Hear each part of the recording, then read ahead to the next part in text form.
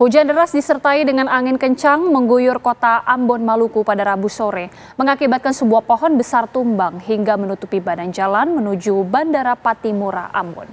Akibat pohon tumbang yang menimpa sebuah minibus, seorang sopir meninggal dunia. Ya pemirsa, sebuah pohon besar yang berada di Bandara Patimura Ambon Maluku tepatnya di Jalan Dr. Leimena, Desa Tawiri, Ambon Maluku, tumbang pada Rabu sore kemarin. Dalam video amatir memperlihatkan sebuah pohon besar yang tumbang menimpa sebuah minibus dengan nomor polisi DE1268 melintasi jalan tersebut.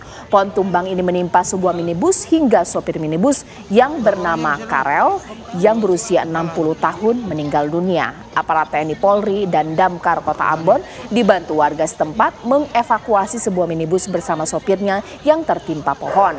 Korban kemudian dibawa ke rumah sakit RSUP Dr. Lemena Ambon.